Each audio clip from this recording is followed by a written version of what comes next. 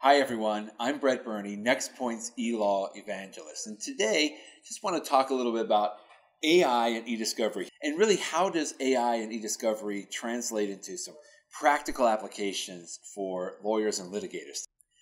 Can you tell the difference between a cute brown chihuahua and a tasty blueberry muffin? Well, most humans, of course, can tell the difference between those two items, but can a computer tell the difference?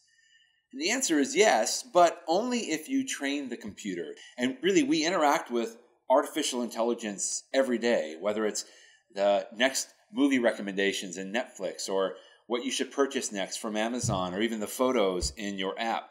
But how does all this relate to the legal profession? Well, artificial intelligence has been used in a variety of different areas, such as document filing. AI can look at how you filed similar documents and make suggestions on filing other documents or composing contracts.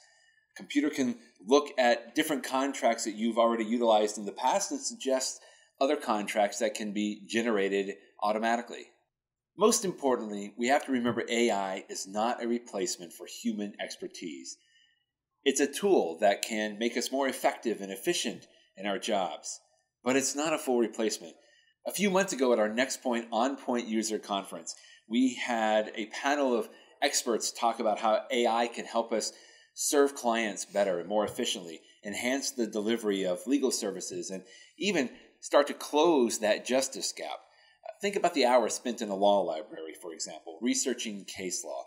What if a computer could be trained to understand a legal query and produce a set of research results? Of course, you still need to verify the results, but AI can help augment those decisions that are typically made by humans. AI can only answer objective questions, but a lot of times in the legal world, we're dealing with subjective questions.